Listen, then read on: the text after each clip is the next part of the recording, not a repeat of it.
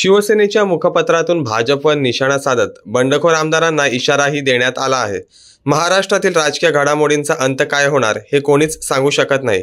त्यात आपल्या महामहिम राज्यपाल श्रीमान कोश्यारी यांना कोरोनाने ग्रासले. राज्यातील विरोधी पक्षांची राजभवनातील लगबगही थोडी थांबली. राज्य सरकारचे नक्की काय होणार? यावर पैजा लागल्या आहेत. शिवसेनेत उभी फूट पडली. सरकार संकटात आले. आता काय होणार? यावर चर्चा झडत आहेत. राजकारणात सगळेच अस्थिर असते आणि बहुमत त्याहून चंचल असते. शिवसेनेच्या तिकिटांवर पैशांवर मेहनतीवर निवडून आलेले आमदार भाजपच्या पकडीत फसले. ते आधी सुरतला आणि नंतर विशेष विमानाने आसामला गेले. शिवसेना अंतर्गत ज्या घडामोडी सुरू आहेत त्याच्याशी आपला संबंध नाही वगैरे मकलाशी भाजपने तरी करू नये असे सामनाच्या अग्रलेखात म्हटले आहे.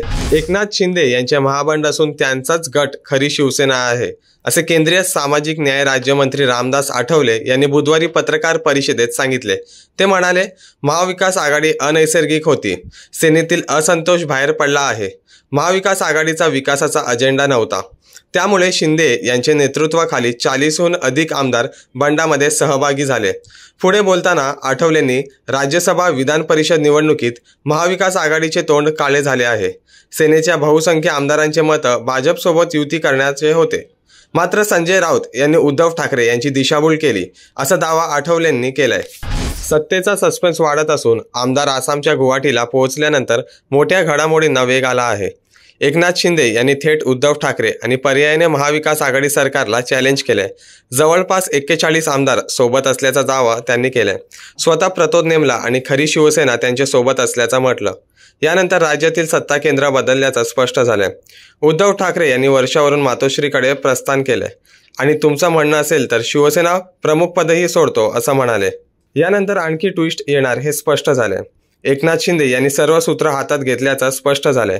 त्यांनी कायदेशीरप्रमाणे जाण्याचा प्रयत्न केला आहे. ईडीच्या कचाट्यात सापडलेले प्रताप सरनाईक सध्या शिंदे सोबत आहेत. सुनील प्रभूला बघू असं ते म्हणाले. राज्यात सध्या विधान परिषदेच्या निकालानंतर राजकीय वातावरण चांगलंच तापलं आहे. शिवसेना नेते एकनाथ शिंदे हे आमदारांना घेऊन गुवाहाटी येथे आहेत. काल रात्री उशिरा मुख्यमंत्री ठाकरे हे वर्षा निवासस्थान सोडून मातोश्रीकडे रवाना झाले आहेत. या पार्श्वभूमीवर आता वंचितचे प्रकाश आंबेडकर यांनी एक ट्विट केला आहे. प्रकाश आंबेडकर यांनी सध्याच्या राजकीय परिस्थितीवर प्रश्न उपस्थित केला आहे. एकनाथ शिंदे यांना भाजपमध्ये येण्याची अट घातली आहे का? असा सवाल त्यांनी उपस्थित केला आहे.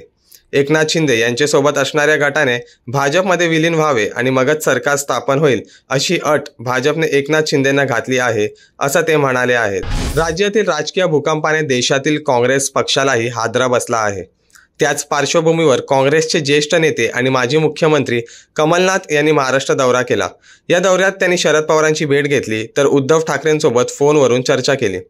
कमलनाथ यांच्या महाराष्ट्र दौऱ्यावरून भाजप नेते शिवराजसिंग चव्हाण चौहान यांनी त्यांना चिमटा काढला आहे.